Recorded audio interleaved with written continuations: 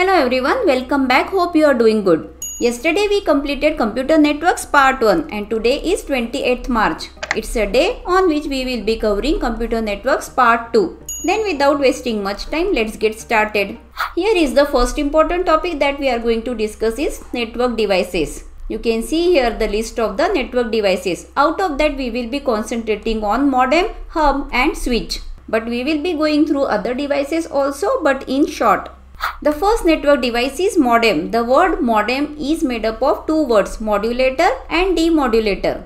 What is the use of modem? It allows you to connect and communicate with other computer that too through telephone lines. Modem can be internal which is fixed inside the computer or it can be external which is connected externally to the computer. Look at the process of modulation and demodulation. At the sender's computer, digital signals will get converted to analog and this process is known as modulation whereas at the end of receiver computer the analog signal again will get converted to digital and this process is known as demodulation. Alright then let's remember what is modulation digital to analog conversion and the reverse process is demodulation analog to digital conversion. The second network device is RJ45 registered jack 45. Look at the diagram it is an 8 wire connector Majorly used in Ethernet networking, it provides 10 Mbps of transfer rate. The third is Network Interface Card that is NIC. It has a unique address called MAC address. As it is a network device, it is used to connect computers and server so that we can share data over the network. Moving ahead to the next network device that is Ethernet card. Ethernet card is a type of network interface card.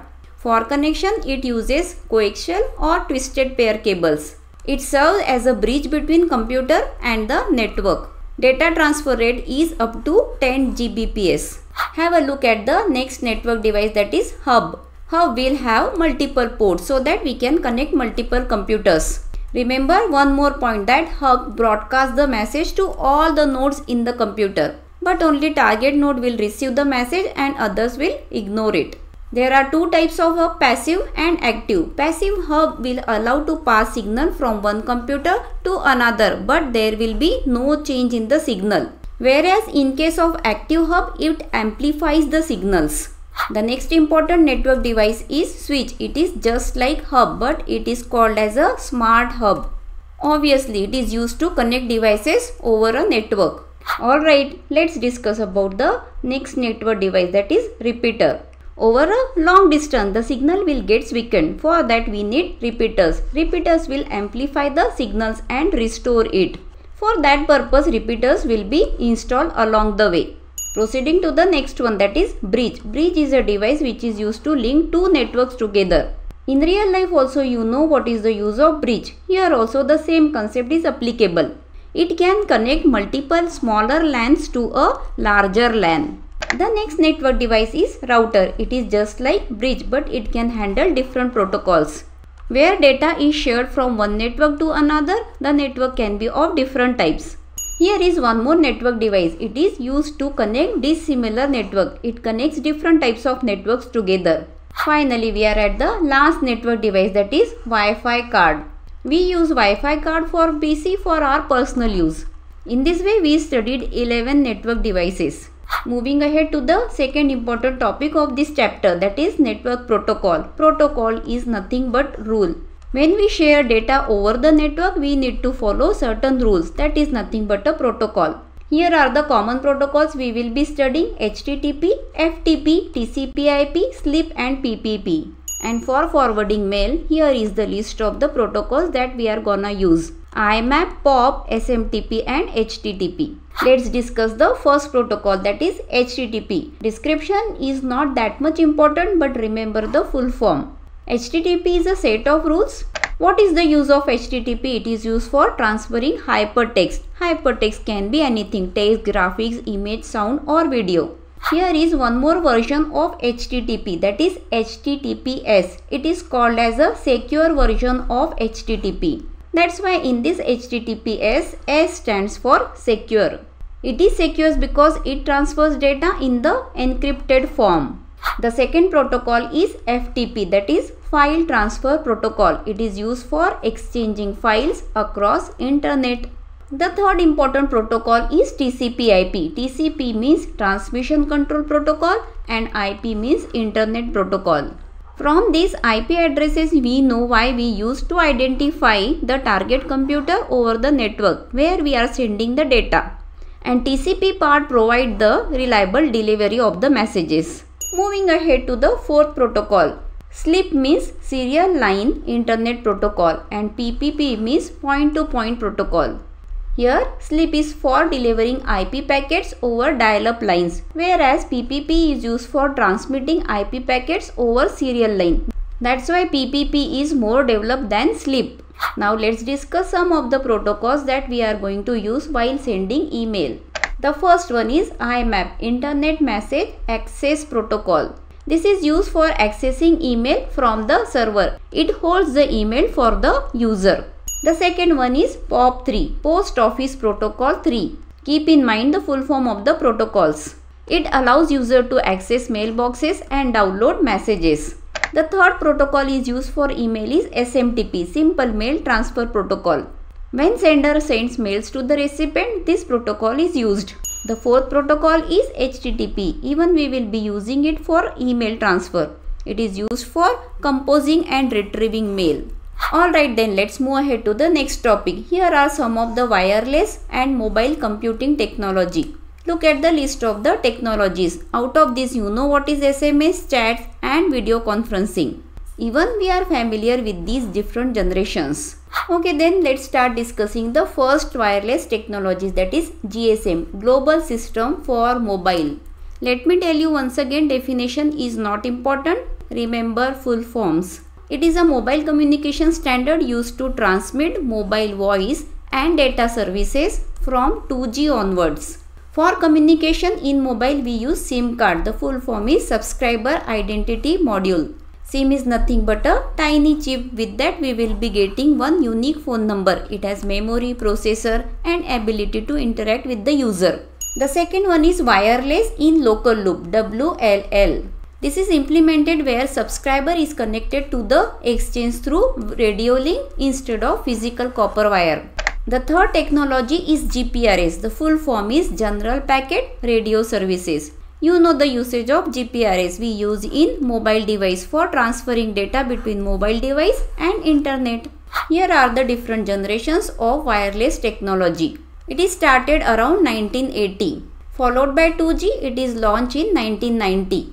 The next version is the enhanced version of 2G that is 2.5G. The next generation is 3G. It is introduced in 2000. Then in the late 2000 we got 4G. It provides faster data rates. Even you can stream high quality videos on mobile devices. We know the latest is 5G. This is the fifth generation of wireless communication technology and the provided speed is almost 100 gigabytes per second. With this you can download ultra high definition videos and access the internet at the lightning fast speed. Here are some other options with which we can communicate. SMS is short message service through which we can send or receive short messages. The second one is chat. In real time we can send the textual message. Followed by video conferencing. It's a two-way video phone conversation in which there can be multiple participants. Here is one more important protocol that is voice over internet protocol. Remember the full form. With the help of this technology we will be communicating through voice. It's just like a WhatsApp call. Now let's discuss some of the terms and concept related to internet internetworking. These are quite well familiar terms. The first is WWW. Full form is World Wide Web. It is nothing but a set of protocols that we will be following to access any document on the internet.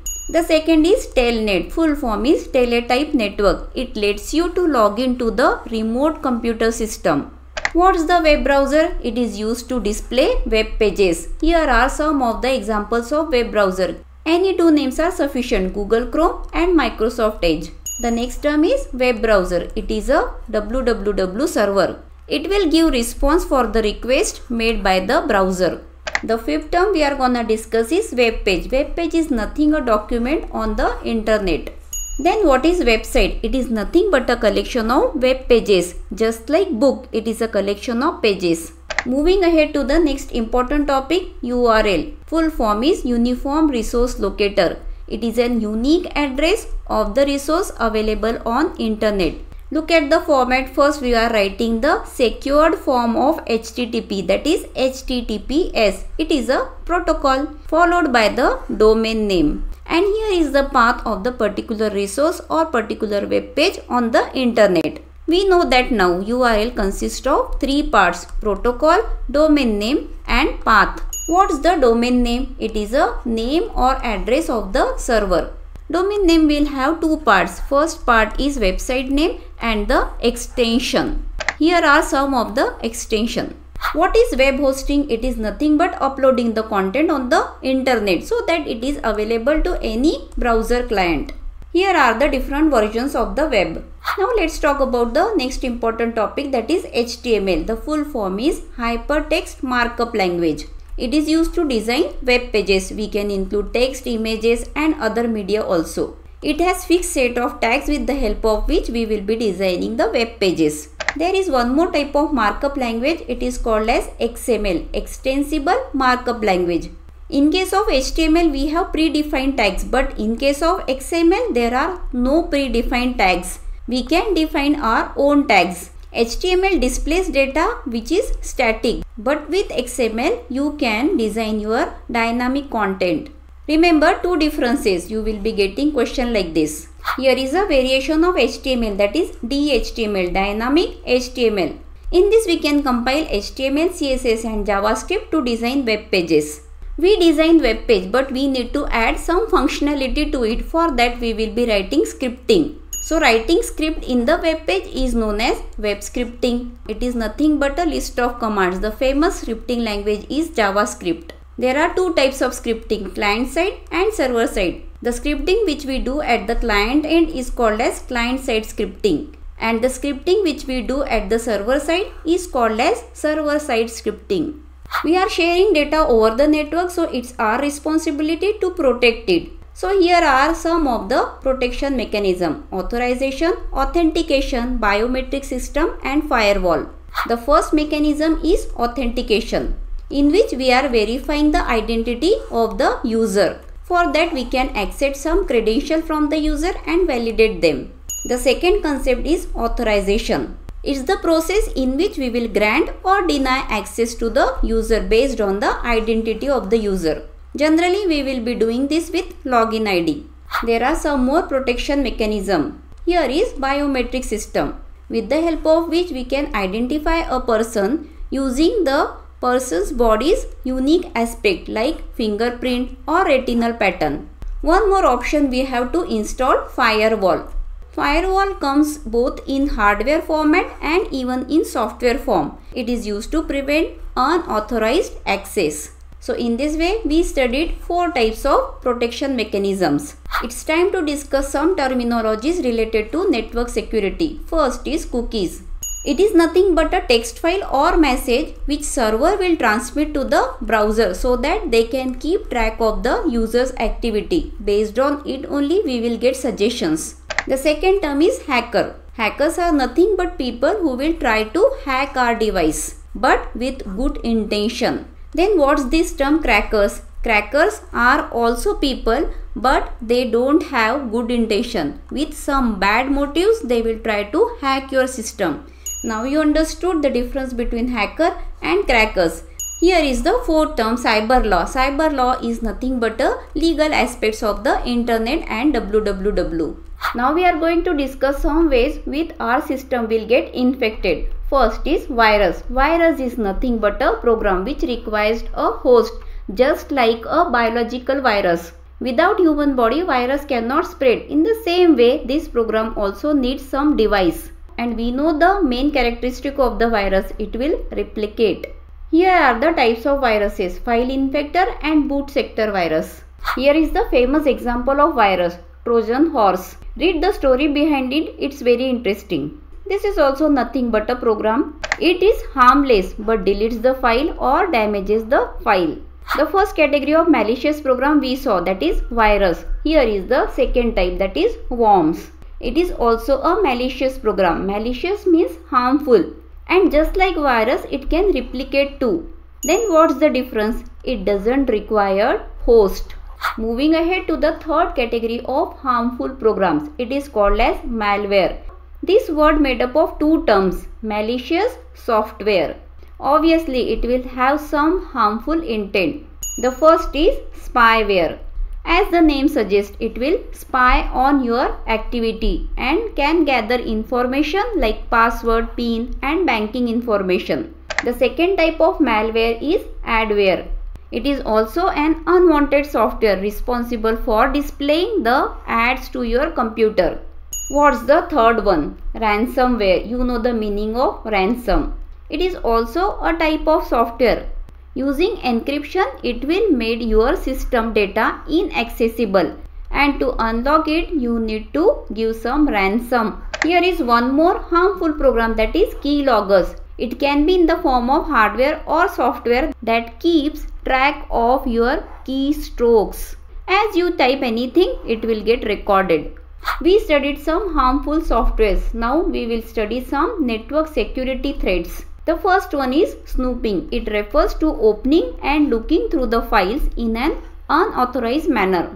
The second is eavesdropping. It's an attack in which attackers gain access to the communication medium and listens to the communication and gets the information. So attackers through your communication line can get your personal or confidential information. The third attack is known as denial of service DOS. It is a type of cyber attack which prevents the services to the intended users. What about other intrusion attack? It is an illegal activity carried out in a digital network. So be alert and be careful while using internet. Don't share your personal information or bank or credit card information to any unknown person.